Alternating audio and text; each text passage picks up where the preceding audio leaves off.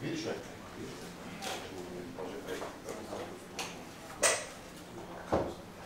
Ты голая. А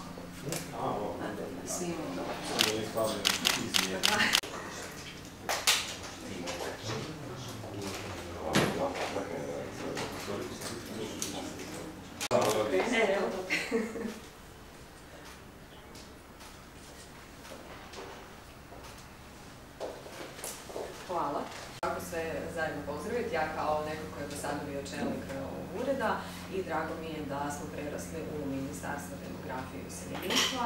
Um, ministar će isto reći nekoliko riječi uvodnih i ono što mi je drago, da nastavljamo kako smo uh, krenuli, nadograđujemo se, znamo da je demografski problem najveći izazov koji je uh, pred nama i sa nama i to smo dokazali do sada, da smo okrenuti prema tome i da smo spremni raditi na tom pitanju kako bi riješili ovo što nam je trenutno u Republici Hrvatskoj. Evo, koristim priliku sve vas pozdraviti. Nisam stajao koliko pred kamerama ovaj, dugo, šalu na stranu.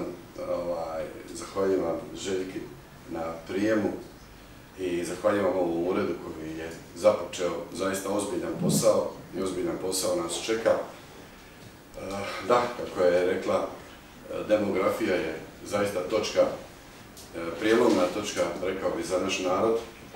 Od dolje juga pa sve gore do naše lijepe Slavonije, pa ćemo ići do Vratice i u Zagorju i u Liku doći ćemo i do Istre. I znamo da je ključni problem kako sačuvati naš narod da ostane, ali da opstane, a ja vjerujem na tragu i mjera koje je već ovaj ured poduzimao i ono kad se ova, ovo ministarstvo posloži, da ćemo napraviti iskorak i ono što vam želim svima reći, da nitko nema čarovan štapić da uspije u nečem. Potrebno je mnogo strpljivosti, mudrosti, stručnosti, odlučnosti, hrabrosti da se uspije. I ono sa svoje strane što mogu reći, bez prevelikih riječi, da ću sve od sebe da stvorimo i oplemenimo. Željka već ima dio tima koji ulazi u, i kroz kabinet i kroz ministarstvo koje je u nastajanju. Ovaj, da ćemo sve od sebe, mogu to samo reći pred cijelom javnošću.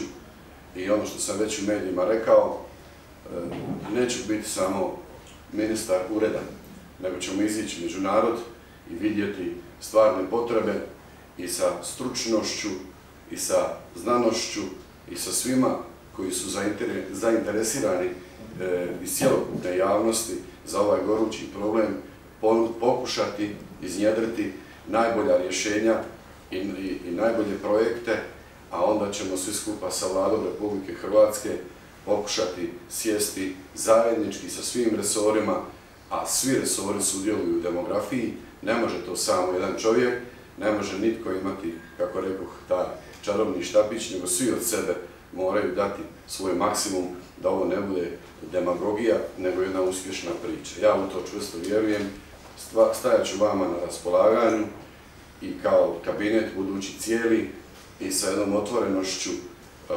srca i, što se kaže duše i razuma uh, ovom uh, odgovorno i sa, sa, sa pažljivošću i pomnošću da pazimo na koji način ćemo pristupiti demografskom problemu koji tišti ovaj narod. Hvala vam lijepo.